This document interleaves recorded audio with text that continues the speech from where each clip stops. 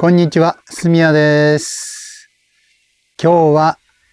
ドワーフ3とシースターの対決第4回目です。実はね、小さい天体はスマート望遠鏡苦手なんですね。木星とか土星とか火星はなかなかね、大きくクローズアップして映すことができないんですけれども、それを補うのがデジタルズームです。昨日はですね、こと座のリング星雲をドワーフ3とシースターで同時に撮影してみました。まあ、ほぼ同じ条件でどれぐらいの差が出るのかっていうのを試したんですけれども、非常に面白い結果になりましたね。 DWARF 3はね、デジタルズームが10倍までできるんですね。ですから 4K の画質で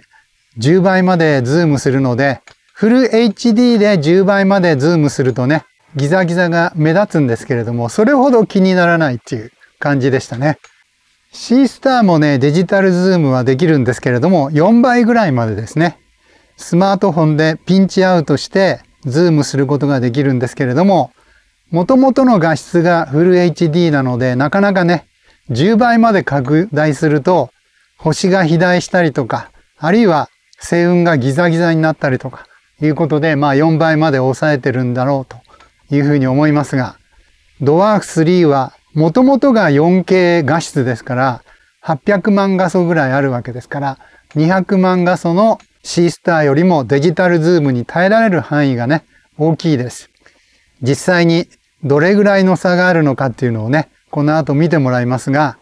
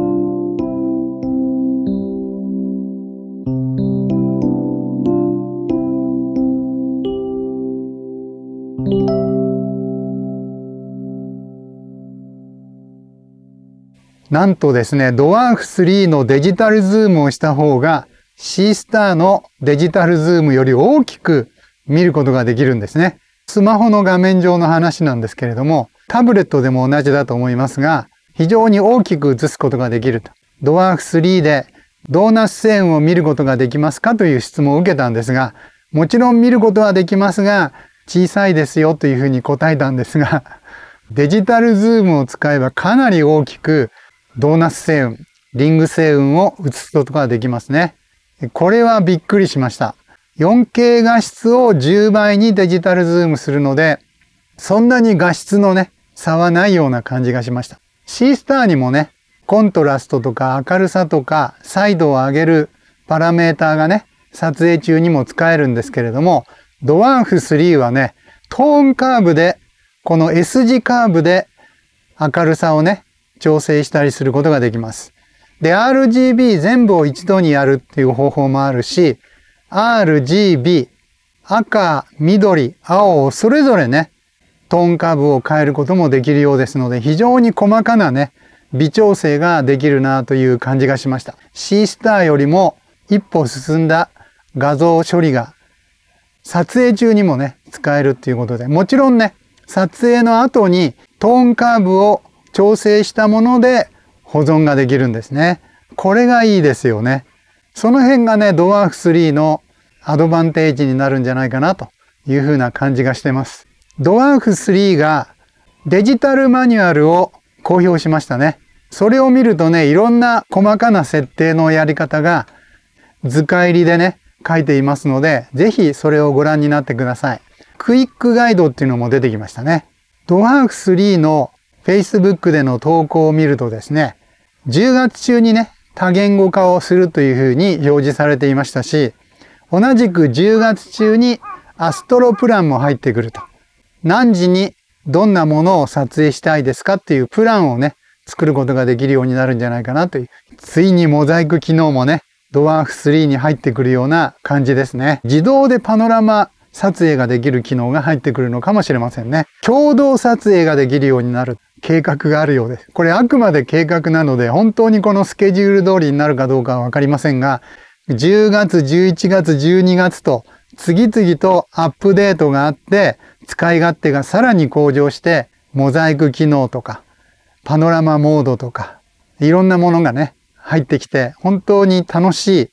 スマート望遠鏡がさらに進化すると、嬉しいニュースがいっぱい入ってきてますね。